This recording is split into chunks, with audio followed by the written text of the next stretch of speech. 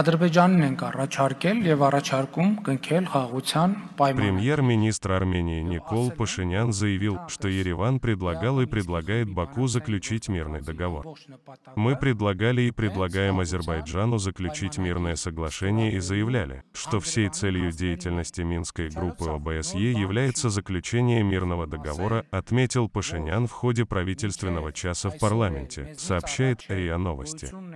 По его словам, этот вопрос поднимался на всех переговорах. Целью переговорного процесса является подписание мирного договора. Мы говорили об этом десятки раз.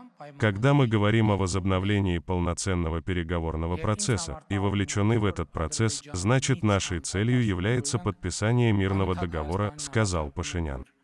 По его словам, до этого нужно согласовать текст документа, что требует большой работы. Подпишитесь на наш канал Будра News и будьте в курсе всех событий.